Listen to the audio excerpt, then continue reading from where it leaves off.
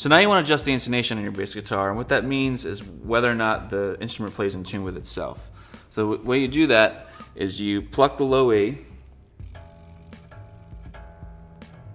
and then fret the low E at the 12th fret, and it should be the same note.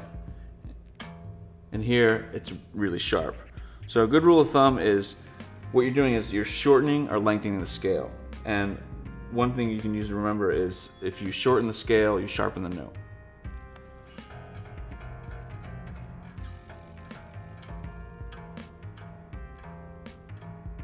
So this is really sharp, so you want to move the saddle back.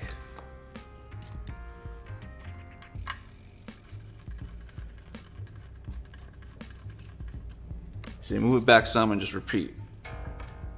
You want to pluck your low E and tune the note. And then fret it at the 12th fret. It's still a little sharp, so you want to move back some more.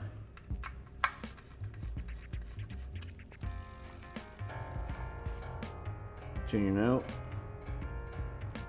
Fret it at the 12th fret. And it's almost perfect. Move back a little more.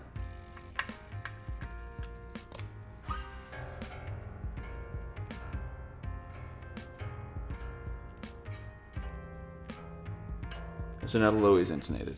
So you want to do the rest of the strings too. A string, tune it up.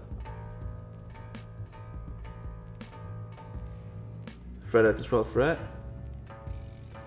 That one's in tune. Let's try the next one.